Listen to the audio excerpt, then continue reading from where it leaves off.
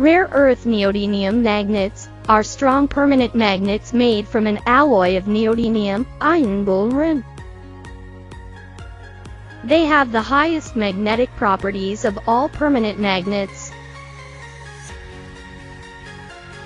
Due to their high magnetic strength and relatively low cost, they are the preferred choice for many consumer, commercial, industrial, and technical applications.